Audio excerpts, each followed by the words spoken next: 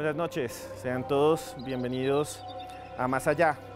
En las últimas semanas hemos visto noticias estremecedoras, bombas que caen en Siria, un país que lleva casi cinco años en guerra y donde hay más religiones que en cualquier otro lugar del mundo, barcos con poder nuclear que van hacia la península de Corea del Norte, en donde hay un dictador, tal vez el último dictador comunista de todo el mundo, de toda Asia, que tiene además poder nuclear y que ha dicho que tiene suficientes bombas para amenazar a Japón y los Estados Unidos. Para muchas personas estas noticias simplemente están confirmando los antiguos escritos, las profecías de Nostradamus, lo que decía un vidente, Bababanga, que había dicho que estábamos cerca de la Tercera Guerra Mundial. Esta noche en Más Allá vamos a internarnos en las profecías que nos dicen que tal vez estemos cerca a la Tercera Guerra Mundial.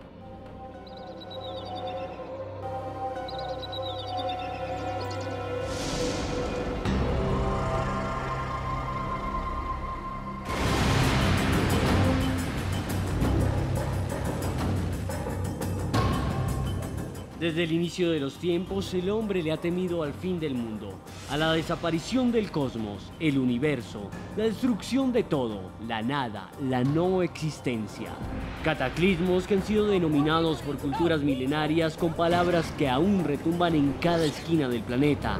Armagedón, Ragnarok en los vikingos, Baktun entre los mayas, juicio final o apocalipsis son solo una muestra de las misteriosas coincidencias que aparecen en las tradiciones de la mayoría de los pueblos que han habitado el planeta.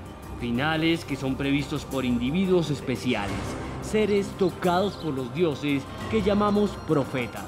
Personajes históricos como Juan en la isla de Patmos, quien entre visiones perturbadoras logró describir en el año 95 después de Cristo el fin de los tiempos en el Apocalipsis, en sus líneas, Juan nos presenta una guerra entre el cielo y el infierno, un final violento y horroroso para la tierra.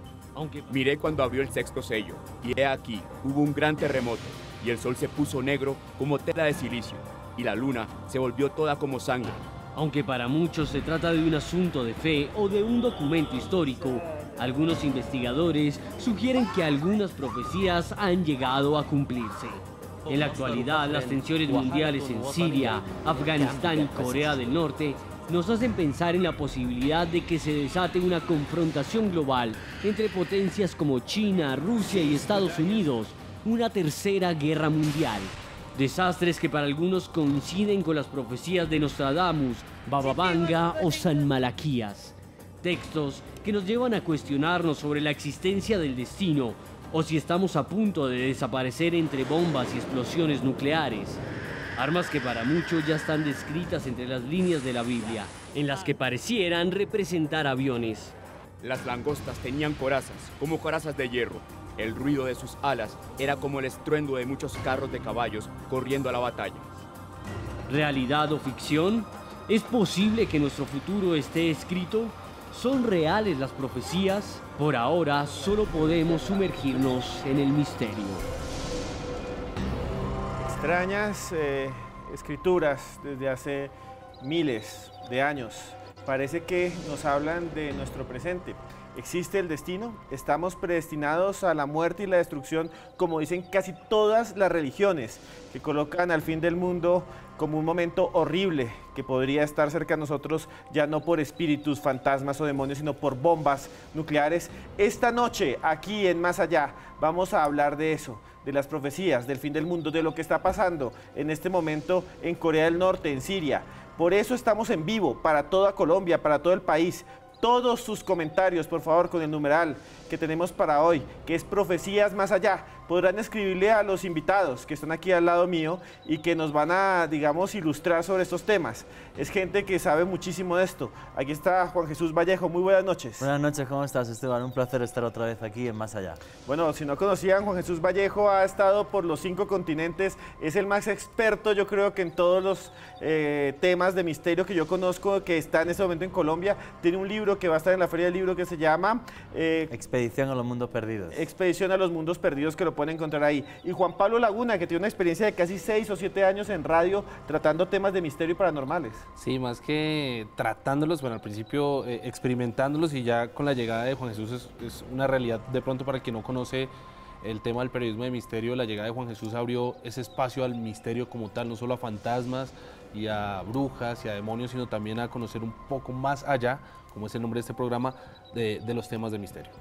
Bueno, eh, sí, claro, es que es el maestro del misterio en Colombia en este momento. Bueno, para comenzar rápidamente, eh, ¿usted cree que podríamos estar, eh, Juan Jesús, según lo que usted ha visto de las profecías, cerca a una tercera guerra mundial o algo así? Yo es que no crea o no crea. Yo lo que digo es lo que dice un libro que aparece en la Biblia, que es la parte final, que es el Apocalipsis, ¿vale? y cada uno que lo interprete como quiera. Apocalipsis significa revelaciones, ¿vale? Todo lo que envuelve este libro, esta última parte de la Biblia, es un misterio, porque ni siquiera tenemos claro quién fue el que lo escribió. Firma como un tal Juan en la isla de Patmos. Bueno, lo que estoy diciendo ahora eh, sería cuestión de excomunión desde el siglo VII después de Cristo en el Concilio de Toledo, ¿vale?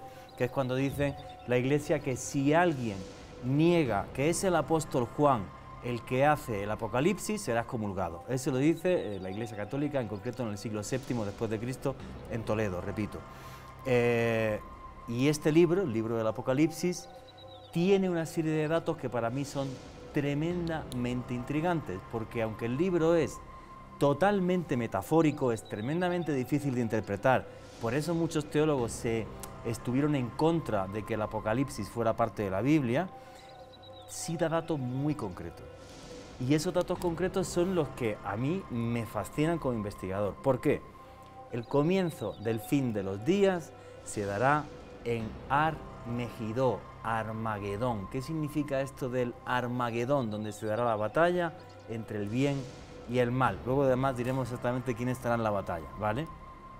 Ar-Megiddo significa el monte de Megido. Yo he estado ahí, yo he estado en ese lugar, que es el Valle de Jezrael, que es una llanura enorme, y una colina, estoy ahí lo tenéis en, televisión. E- Esa es la colina de Megido. Entonces tú te subes a esa pequeña colina, ¿vale? Y, y lo que ves es el Valle de Jezrael. Entonces fue un lugar clave en la historia porque por aquí había que pasar a la fuerza si querías comunicar la antigua Babilonia con Egipto. Entonces el único camino era ese, o el camino digamos más directo era, era, era este. Con lo cual, hace 5.000 años, dominar el Valle de Jezrael era clave para el control del comercio en Oriente Medio. Muy bien, Juan Jesús. Eh, Sí, pero, Megido, perdona, sí, sí, claro. que estamos hablando de una profecía bíblica que es todo metafórico, pero dice el comienzo del fin de los días, repito, el comienzo del fin de los días, capítulo 16, versículo 16, será en Ar Megiddo, en la colina de Megido, esa primera gran batalla que llevará al fin del mundo. No lo digo yo, lo dijo un señor Juan en la isla Isla de Patmos. El Apocalipsis, que es el libro que ustedes pueden encontrar al final de la Biblia, es el último libro. Y ahí ustedes pueden ver también, eh, y hay películas incluso que se llaman Armagedón, una muy famosa con Bruce Willis que hablamos hace poco, pero esa palabra Armagedón viene del Monte Megido. Eh, Juan Pablo, el Apocalipsis, ¿es tan fuerte esa creencia? Hay un montón de gente que todavía cree, religiones enteras. Hoy hay mucha gente que cree en el apocalipsis, pero cuando uno se acerca a hablar con sacerdotes, que son en teoría quienes hacen respetar la palabra que da la Biblia, pues ellos dan a entender que uno malinterpreta eh, el fin del mundo. Ellos lo ven como el fin de una era y el inicio de algo cuando llegue, cuando sea una nueva venida de nuestro Señor. Es Acá, que eso hay- es lo que ellos argumentan. Es que es lo que dicen algunos teólogos, pa- para poner sí, simplemente sí. un pequeño eh, análisis a lo que dice Juan Palaguna. Algunos piensan efectivamente que es una batalla metafórica entre el bien y el mal para el nacimiento de un nuevo mundo, no una guerra real. Pero si uno lee el texto, Pues Es- lo pone más claro Bueno, que el agua. yo los O invito sea, a que hagamos lo señor Juan, siguiente. o sea, lo puso, pero clarísimo. Hagamos lo siguiente, compañeros. Vea, con el numeral Profecías Más Allá, todos los que nos están viendo, díganos qué pregunte, piensen. que y pregúntele a Juan pre- Jesús. ¿Piensa que es algo de ficción? ¿O que es simplemente una retórica, una imagen del bien y mal? ¿O piensa que puede ser algo real, como estamos hablando acá? Pues bien, le preparamos a ustedes esta nota sobre el Armagedón, que la escribió el señor Juan Jesús Vallejo. Véanla y después comenten con el numeral Profecías Más Allá.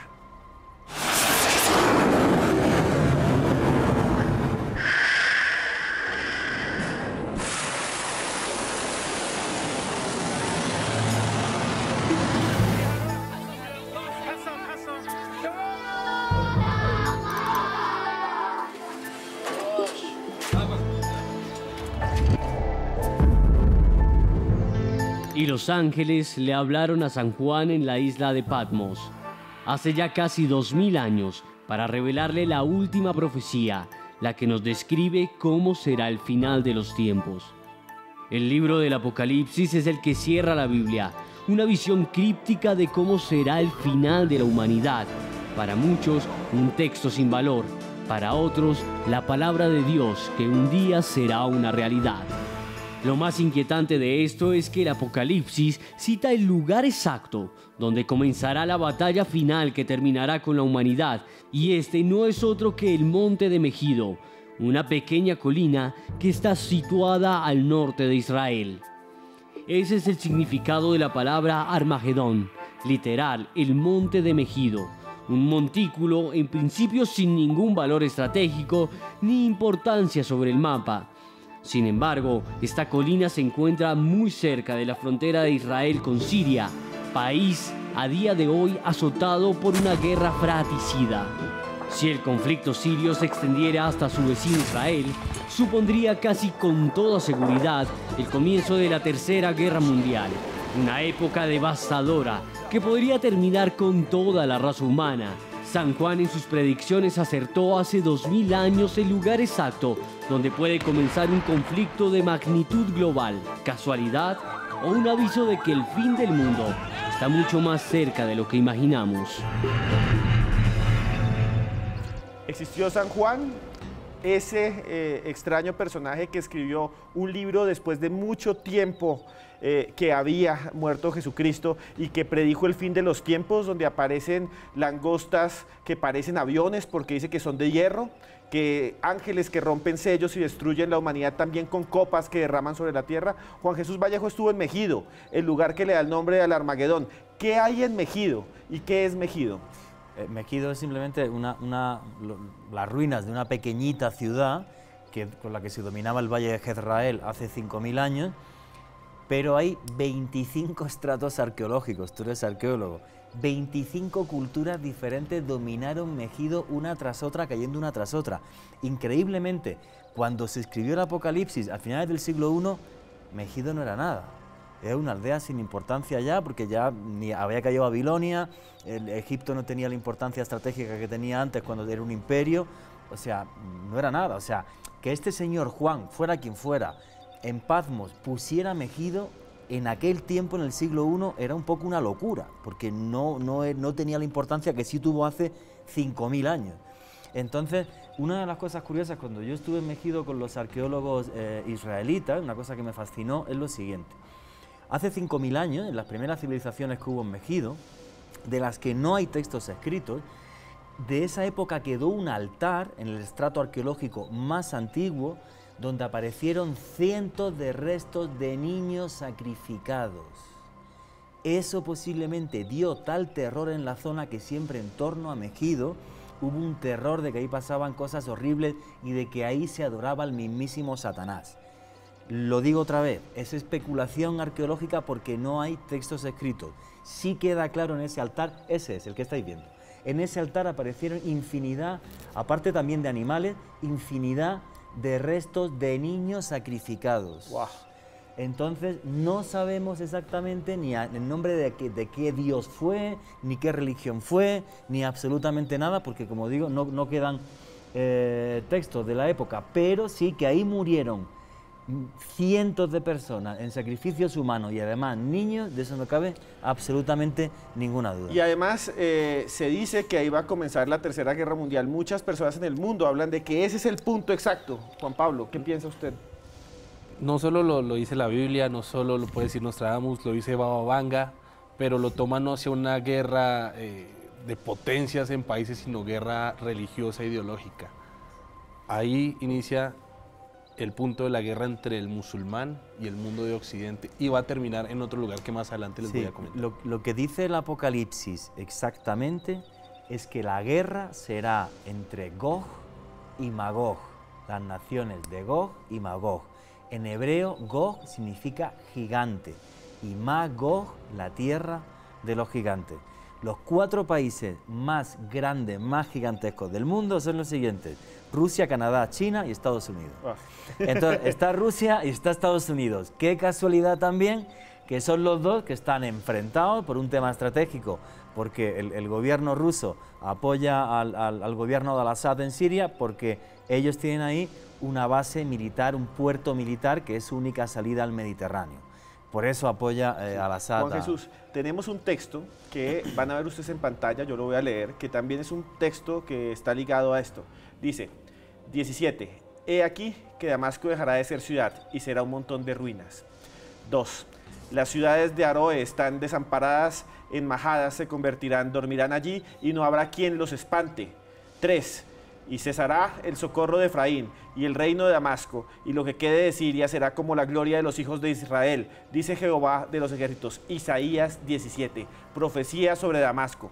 Estamos viviendo hoy en día algo que, que estaba predicho, por ejemplo, en Isaías. ¿Está en ruinas Damasco? Bueno, Damasco está fatal, o sea, hay barrios de Damasco ya que están completamente bombardeados. Me da mucha pena porque yo conozco Siria muy bien, he estado en todo Oriente Medio y Siria era un país precioso cuando veo las imágenes que ponéis en, en los reportajes. Aquí las estamos viendo. Me da muchísima pena porque, porque, bueno, la gente que no entienda la guerra de Siria, aunque esto daría para un programa sí, eso completo. Es para otro programa más. Vale, o sea, ahora mismo hay cuatro bandos, que son, son los kurdos, es eh, Al-Assad, que son los chiitas, están los sunitas rebelados, que es eh, la, la, la, famosa oposición al régimen, y aparte al Nusra. Bueno, Juan Jesús, tenemos que irnos ya a comerciales. Vamos a, volver, vamos a volver hablando de Nostradamus. Vamos a hablar que Juan Laguna nos trae aquí un texto genial y vamos a hablar algo de Bababanga. Y bueno, ya regresamos aquí en Más Allá. No se lo pierdan y trinen, por favor, con Profecías Más Allá. Un abrazo.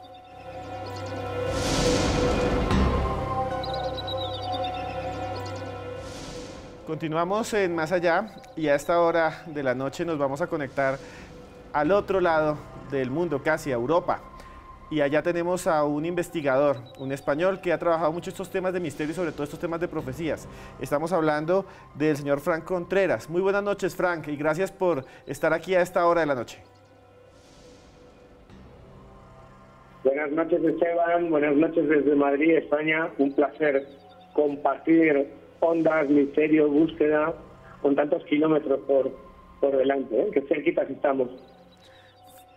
Frank, quisiera preguntarte eh, rápidamente, ¿qué o quién era Nostradamus? Es muy básico, ¿quién era Nostradamus? es uno de los grandes profetas que, que, que, tiene la humanidad y, desde los años 70 y 80, cuando se empiezan a publicar libros como este, libros prohibidos durante muchos siglos eh, y durante los últimos y durante las últimas décadas nos hablan de un tipo o de una persona o de un personaje que ha sido uno de los grandes profetas. Porque él hizo una obra que, que a día de hoy sigue mm, provocando curiosidad. No deja de ser curioso que la única obra que publicó en 1555 las profecías compuesto por diez cuartetas un montón de versos con un lenguaje críptico, utilizando la, la metáfora, en la que él deja plasmados visiones de lo que va a ser futuro. Lo que no deja de ser curioso, como te decía, es que casi 400 años después, Esteban, millones de personas hagan que la búsqueda o una de las búsquedas en Internet más seguida, con mayor número de búsquedas, sea, la de Nostradamus, el personaje que nos ocupa. Bueno, y Fran, hay una cosa que todo el mundo se pregunta aquí, que es la siguiente. ¿Qué tiene que decir Nostradamus o qué hay escrito en las profecías sobre Siria y la Tercera Guerra Mundial? Sí, sus seguidores son los que postulan que empezó una época de oscuridad, la llegada del anticristo, no lo veamos como algo religioso católico, no vemos la figura del diablo, sino del mal engendrado o o reencarnado o encarnado en cualquier personaje oscuro. En el 99 empezaría con ese eclipse de sol, una época de oscuridad, y la verdad es que em, tanto las visiones y los detalles que puso del 11S, como de la guerra de Irak, como ahora la situación em, que se está apoderando del mundo, fíjate, en el 99 él decía en unas cuartetas que desde Mesopotamia vendría el, el mal, ¿no? Por eso lo afirmaban con, o lo relacionaban con Saddam Hussein.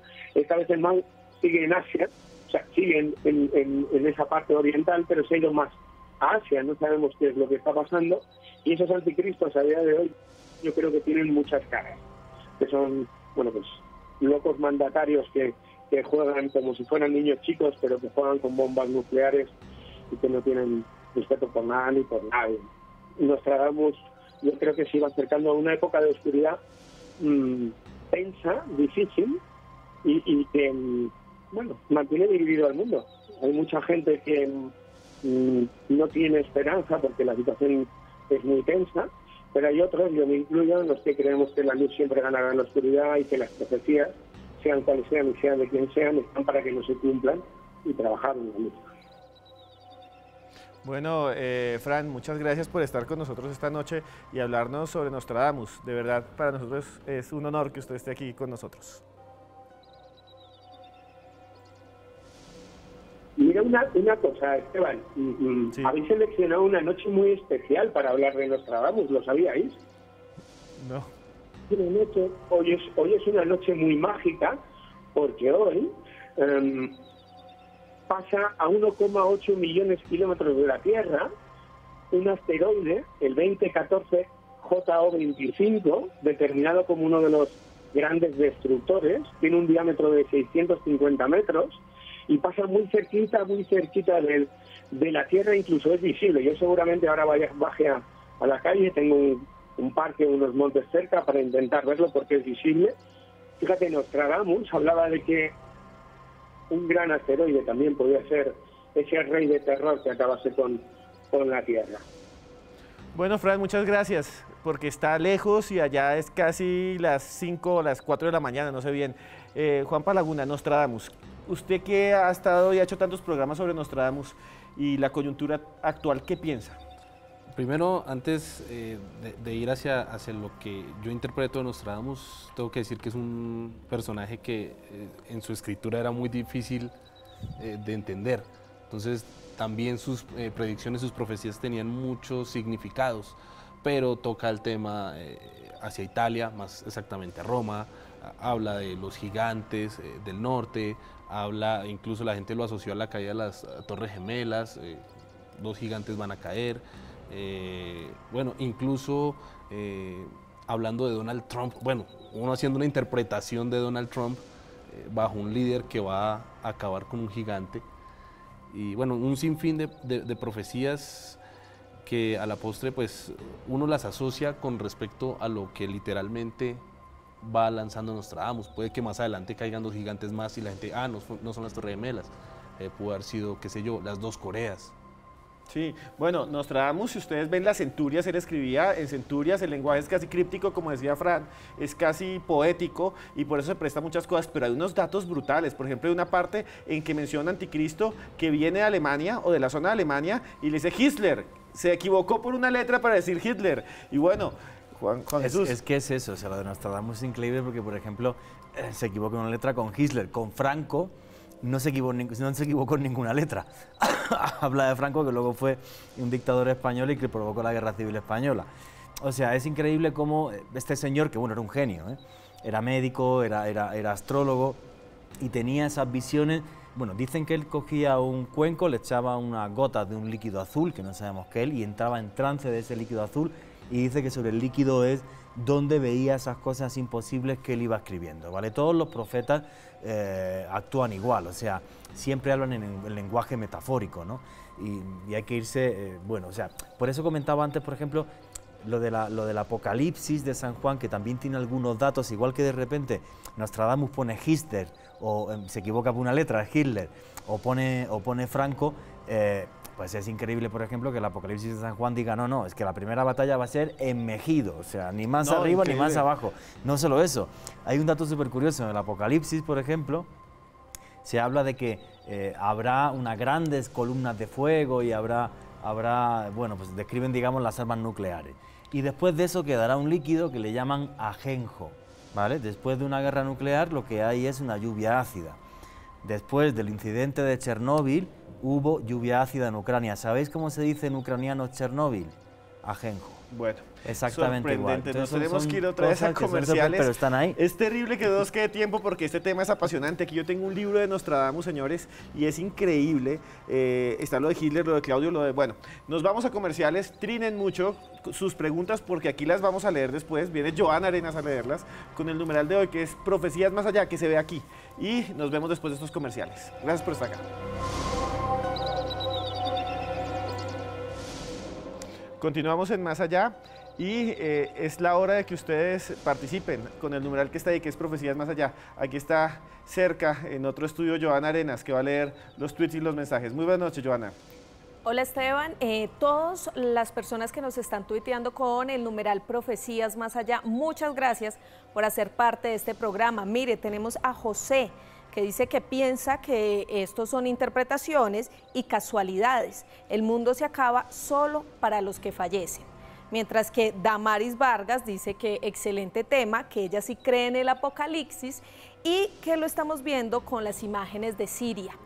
También está Francisco Salgado, que dice eh, lo que ustedes comentaban sobre el Monte de Mejido. Es el punto de referencia, la guerra será real, luego vendrá el cambio de conciencia. Y por aquí también está Pedro, que nos manda un mensaje bien interesante. Dice, recordar que en el Evangelio Mateo 24.6 habla de rumores de guerra, pero no significa el fin.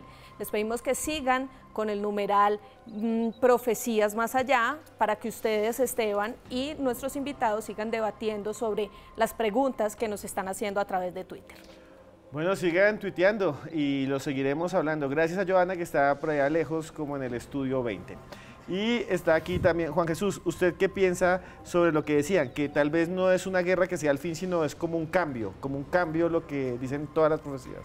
Eso es muy, muy de la New Age, muy nueva era. Siempre estamos con el cambio de conciencia, vamos a hacer todo bueno, queremos a los animales. Y...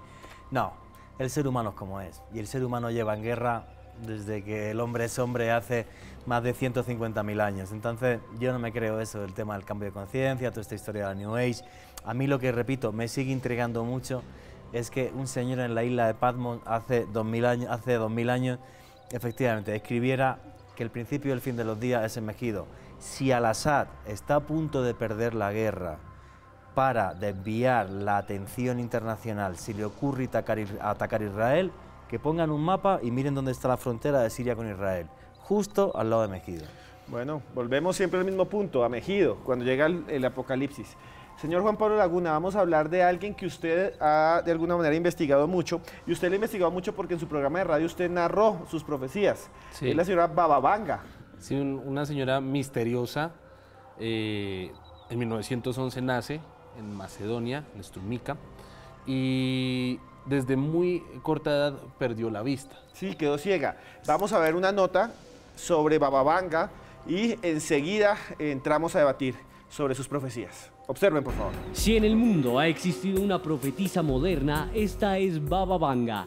Nacida con el nombre Vangelia Pandeva Dimitrova el 31 de enero de 1911, en los tórridos campos de Macedonia, Vanga demostró sus habilidades como adivina desde temprana edad.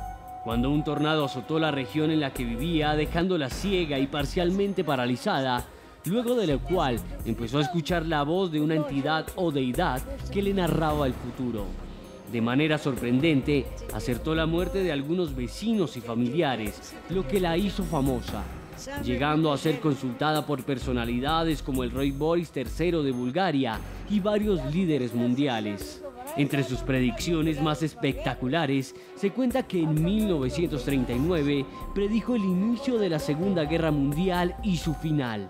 En 1989 vaticinó la caída de las Torres Gemelas. Horror, horror, los hermanos americanos se caerán matados a picotazos por aves de hierro. Los lobos aullarán de los arbustos y correrán ríos de sangre inocente. Efectivamente, en septiembre de 2001 se derrumbaron los dos rascacielos del World Trade Center en Nueva York. Muchos interpretan que la palabra arbusto hace alusión al apellido del entonces presidente George Bush, que traduce arbusto.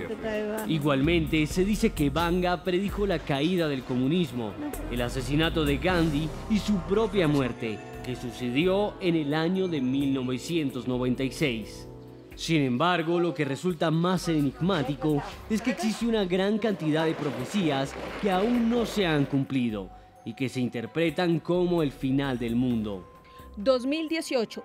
China se convierte en la nueva potencia mundial. 2028. Desarrollo de una nueva fuente de energía. El hambre lentamente pasa a ser un problema para la humanidad. 2033. El hielo polar se está derritiendo. Fuerte subida del nivel del mar. 3805. Guerra entre los humanos por los recursos. Más de la mitad de las personas mueren. 5079. Fin del mundo. Mito o realidad, verdad o mentira. Lo cierto es que las profecías de Baba Vanga son inquietantes y nos llevan a pensar que tal vez nuestro futuro podría estar escrito desde el inicio del tiempo. Uno podría pensar que estas eh, profecías son simplemente una elucubración mental de una vieja ciega, pero no es así. Muchas de esas dan al clavo y las que aparecen a mí no me parecen tan raras. Juan Pablo, China potencia mundial, eso yo creo que ya nadie lo discute. No, es indiscutible lo de China. Eh, irnos más atrás, inició teniendo esas predicciones eh, vaticinando la muerte de su hermano, que se iba para una fiesta y ella escuchó esta entidad eh, decirle que su hermano iba a fallecer y llorándole le suplicaba que no fuera a esa fiesta. El hermano termina yendo y en extrañas circunstancias muere baleado. Luego em, predice la muerte eh, de Stalin y es capturada, es arrestada. ¿La capturaron? La, arrestan, la arrestaron por, decir que se moría Stalin. Por decir que se moría Stalin. Eh, lo vaticinó y un año después sucedió. Em, lo de la Primera Guerra Mundial es totalmente cierto. Además de eso, Bulgaria, al ver lo acertada que eran sus profecías, decide eh, traerla para el gobierno búlgaro a manejar algo que se llamaba el Centro de Inteligencia Paranormal de Bulgaria. O sea, una entidad dentro del mismo Estado que buscaba de alguna manera estas cosas que están por fuera de la realidad o de lo normal. Efectivamente, submarino ruso, el, se, llama, se me escapa el nombre, Kursk, Kurk, eh, que, se, que se hundió, eh, tsunami de 2004. El tsunami. El, tsunami también. Hay, que tener en cuenta que, eh, vamos a ver, en los años 60, y 50 y 60, hubo una guerra psíquica entre Estados Unidos y la Unión de Repúblicas Socialistas Soviéticas y todo el grupo comunista la CIA llegó a gastarse hasta el 6% del presupuesto en, diferentes proyectos, uno famosísimo que se ha desclasificado ahora, que es el Stargate, donde por ejemplo, además aparece el aeropuerto de San Andrés, que yo un día contigo estábamos viendo los tenemos el formato, sí, claro. Y el, KGB y los soviéticos hicieron exactamente lo mismo, o sea, cogieron a sus mejores eh, digamos, videntes y personas con problemas, con, supuestas capacidades sobrenaturales, paranormales, y eso es para otro programa, otro día. Bueno, me voy a ir hacia una película que toca ese tema, pues es muy de cómics, pero toca ese tema Hellboy. Hellboy. Ah, Hellboy nace de la agencia precisamente paranormal de Estados Unidos para... Y también Indiana Jones, ¿no? También habla de cómo los rusos en las últimas Indiana Jones y los nazis en las primeras. Antes, antes de estar de 2018 de China, que es inevitable, todos sabemos que China se va a convertir tarde o temprano en una Pero cuando lo dijo Babanga no, porque ella lo dijo en los años 80. Perdona, y datos como que en el 2038 ya el, el, el deshielo habrá que se suban...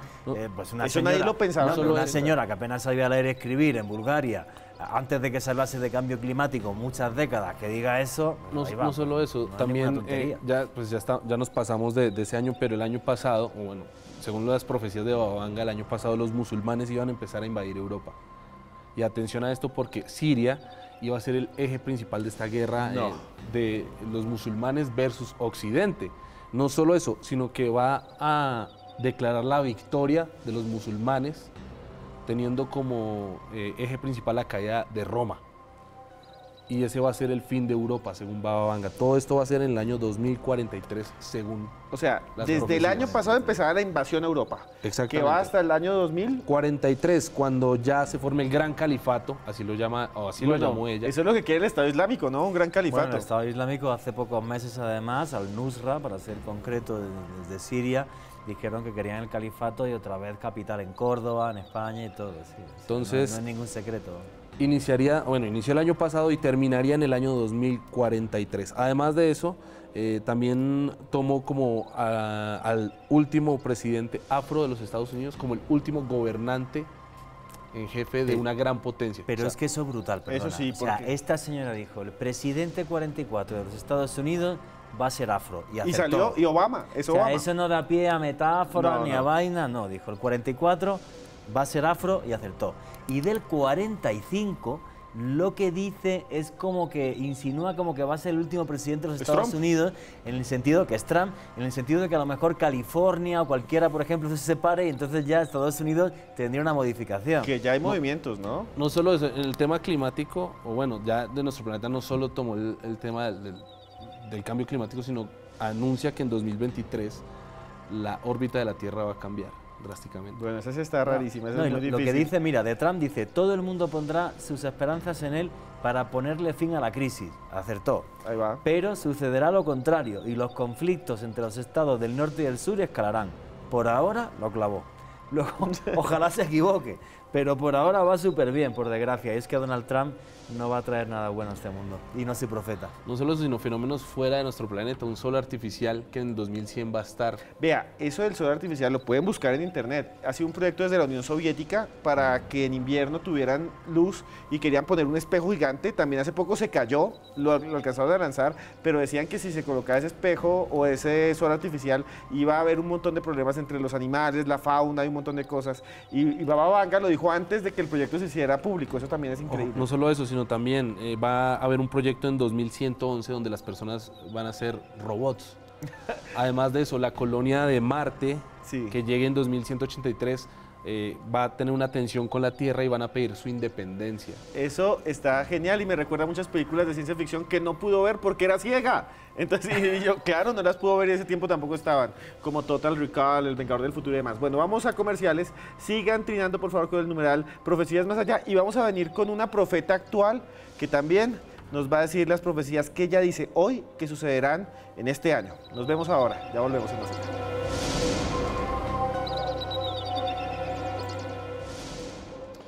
Continuamos en Más Allá y es el momento de escuchar a los profetas actuales. Hemos hablado de Bababanga, hemos hablado de Nostradamus. Hay una colombiana que se llama Deseret Tavares. Dice que ha eh, profetizado muchas cosas, entre ellos la selección Colombia, entre ellos también la muerte de Juan Gabriel. Y eh, tenemos este video en el que ella hace una predicción para este año y para los siguientes. ¿Qué piensan ustedes con el numeral Profecías Más Allá?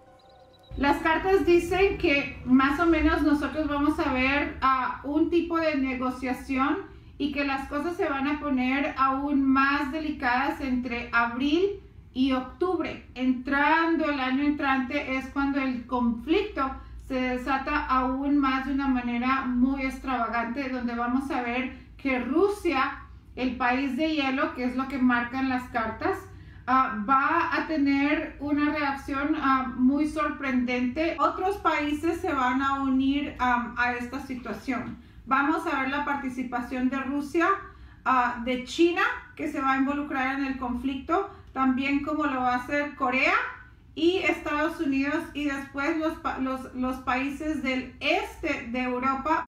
Veo que va a haber otro bombardeo que um, ese bombardeo va a causar mucha polémica, mucha discordia con uh, un país que viene siendo el líder en la situación. Si entramos en lo que viene siendo la Tercera Guerra Mundial a raíz del ataque o el bombardeo que hubo en Siria. Al principio del año próximo, para marzo, es donde vamos a ver que la situación está muy, muy crítica vamos a ver el uso de armas químicas, entonces vienen plagas, viene hambre, viene destrucción.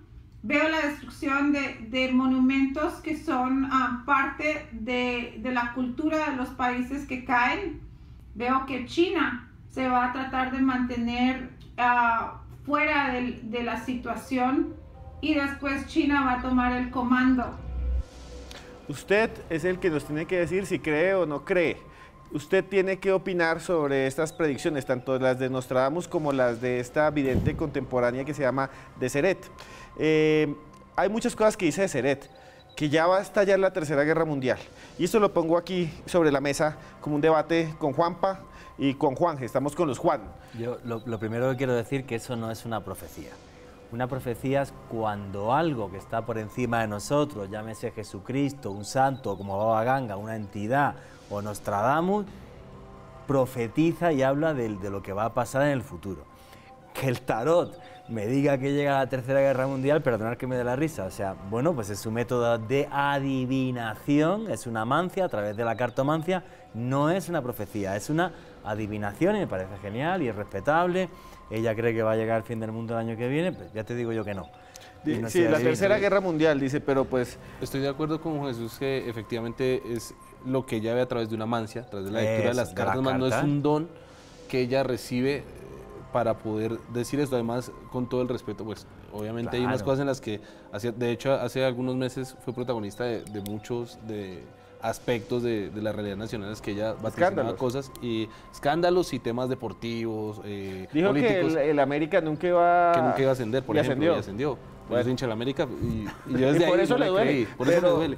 Pero aparte de eso, em, siento que, y con todo el respeto, dice cosas que todos ya estamos, que todos sabemos en este momento. El tema de China, Sí. el tema de No, Rusia. pero ha sido no valiente, ¿eh? Ha dicho que en marzo del 2008, me lo ha apuntado. 2000 marzo del 2018 empieza la 2018. Tercera Guerra Mundial.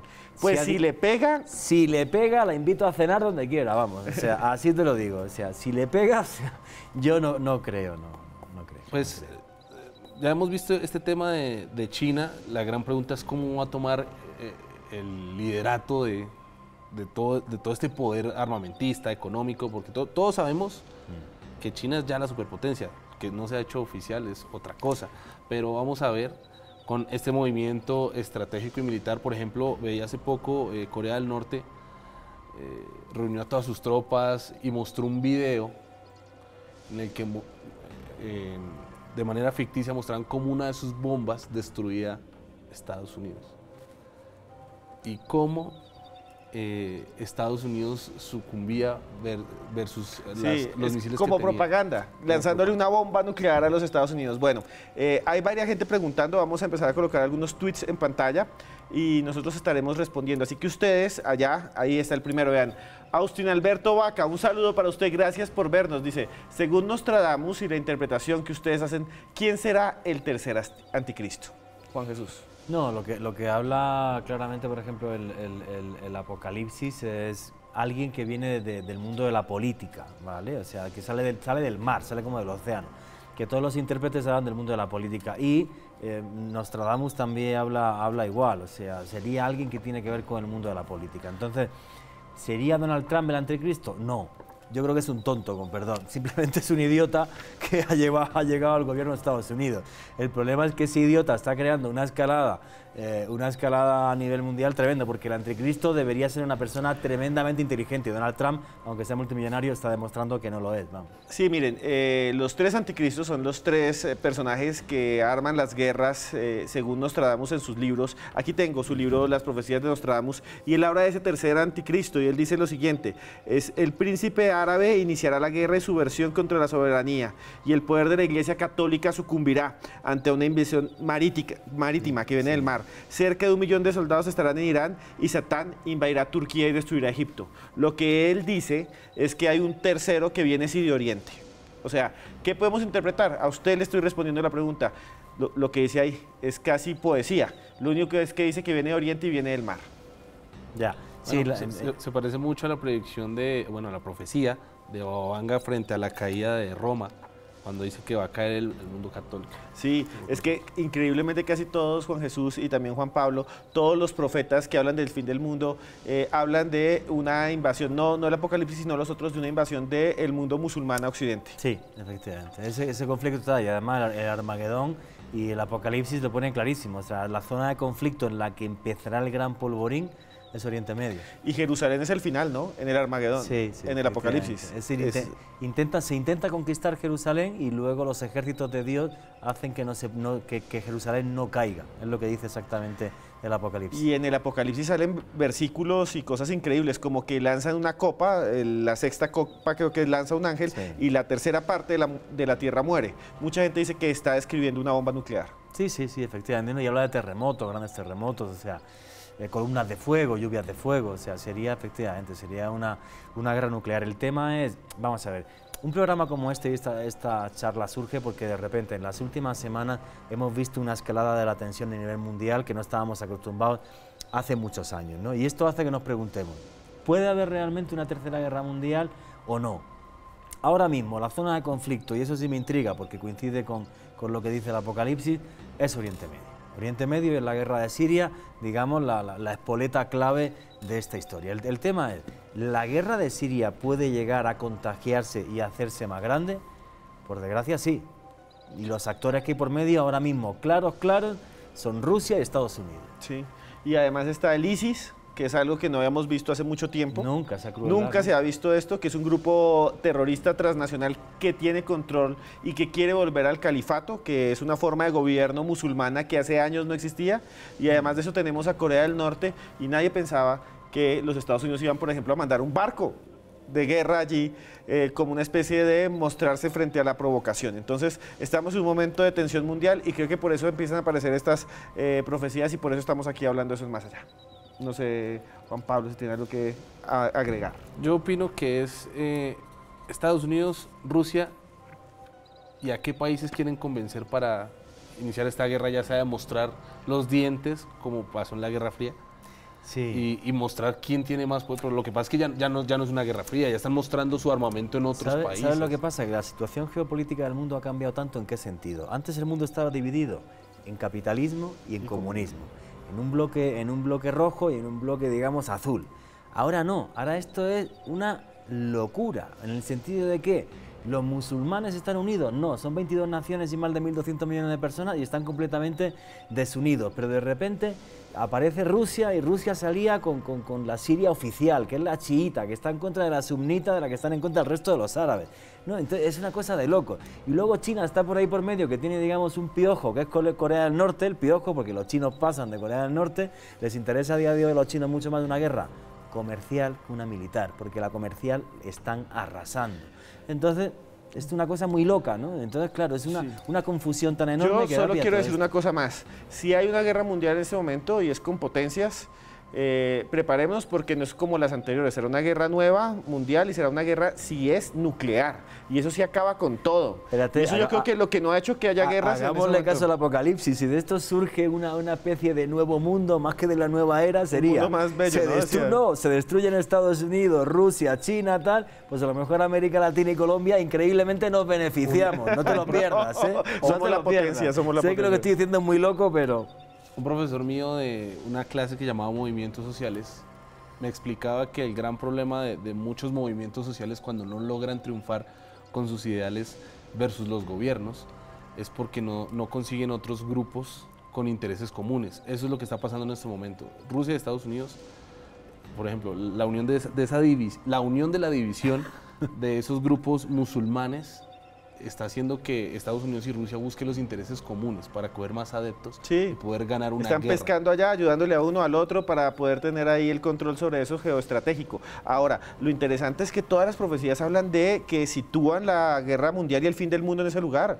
Es que Oriente Medio, y viene de Oriente, Medio. viene de Oriente ninguna dice que ninguna dice que en Europa, ninguna dice que será en Asia, ninguna dice que será en América, ni siquiera los profetas modernos dicen que será en América. ¿Sabéis? Yo vería una tercera guerra mundial si llegara un nuevo Osama Bin Laden, pero con más carisma y más sensatez. Me explico. Dentro del mundo árabe, y lo conozco perfectamente bien porque pasa la mitad de mi vida ahí trabajando, hay toda una serie de corrientes que son muy extremistas, ¿no? que es lo que estamos viendo de, de, de y que la primavera árabe impulsó, pero que enseguida, bueno, pues los hermanos musulmanes se los quitaron de en medio en Egipto, eh, Al-Nusra está ahí eh, completamente aislado ahora mismo, que es el ISIS en, en, Siria, pero si hubiese alguien capaz de aglutinarlos a toda esta gente que va con el salafismo y el wahabismo y todas esas corrientes super extremas del Islam, ahí sí deberíamos temblar. ¿eh? Ahí sí deberíamos temblar. Sí, Juan Jesús, yo quiero decirle a los que están aquí que sigan trinando con el numeral Profecías Más Allá. Vamos a ver si en producción nos mandan dos o tres de sus mensajes para leerlos acá. Eh, las profecías eh, se han cumplido en algunos... Hay uno ahí, vea, Martín E. Romero B. Dice, con el numeral profecías más allá. ¿Y qué me dicen de San Malaquías y las profecías de los papas? Ese es un programa entero. Es un programa entero. Bueno, según San Malaquías Estamos en, el último, papa, hermano. O sea, es... que se puede interpretar de dos formas. El comienzo del fin de la iglesia, ¿vale? O que se acabaría el mundo. Porque simplemente él escribió uno- un- el nombre de Una los lista. papas y unos lemas, efectivamente. ¿Qué hizo San Malaquías? Hizo una lista con los nombres de los papas. El que debería ser el último es el que estamos hoy, que se llamaría algo así como Petrus el Romano, o Pedro el de Roma, creo que es así. Y, pero en algunos sí dio cosas espectaculares. O sea, coincidió con el nombre, coincidió con la heráldica, en algunos incluso coincidía con el nombre real antes de ser papa. Entonces, esto sí fue sorprendente. Y según Juan San Pablo, Malaquías. de Juan Pablo I, el eslogan, el lema era el de la media luna y duró efectivamente lo que dura media luna, me- medio mes, no duró nada. Claro, Entonces, y, no, y Juan Pablo increíble. II, de Laboris Solis, la Sí, labor del del sol, sol. que dice que era el incansable. Bueno, nos vamos, señores, pero antes su conclusión rápida y nos vamos. en que hay que diferenciar aquel que eh, predice por un don de aquel que predice por una carta, o porque le salió un chocolate, Exacto. o porque... Creo que eso es lo el importante. profeta Y del adivino. Hay que diferenciar el profeta del adivino y además de eso tampoco alarmarse.